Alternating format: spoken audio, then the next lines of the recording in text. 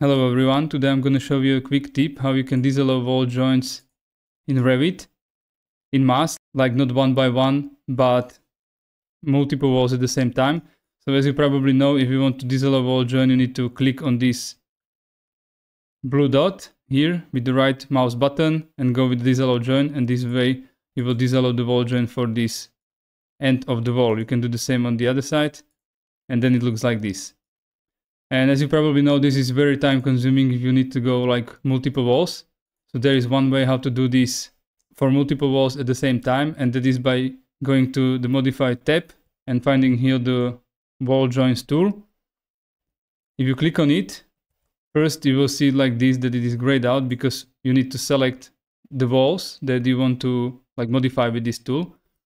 So if you will hover around, you can see it will give you the preview of the wall end or the join that you want to modify. So you can go one by one, but you can actually go and do like a rectangle square. And now you can see that all of those walls or ends of the walls, I'm going to change the setting at once so I can either allow or disallow join. So I will go with the disallow join and now you can see all of the walls are now with the disallowed joints. You can do it also the other way around it. I will go with the tool, select them all and allow them at the same time. And now you can see all of my wall joints are allowed and cleaning again nicely. So this is it and I hope it will help you speed up your work.